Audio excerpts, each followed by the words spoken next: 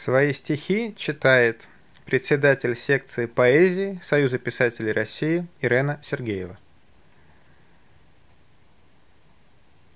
Вот мы все читаем из одной и той же книги, из сборника лирики, посвященной Петербургу, гимн любимому городу, э, потому что здесь квинтэссенция нашего отношения и всей поэзии современной нашей секции.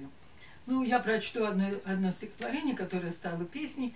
Э, я с мелодией его исполняла когда-то. Когда на улицах темно, когда такси тебя увозит, тебе бывает все равно, куда такси тебя увозит.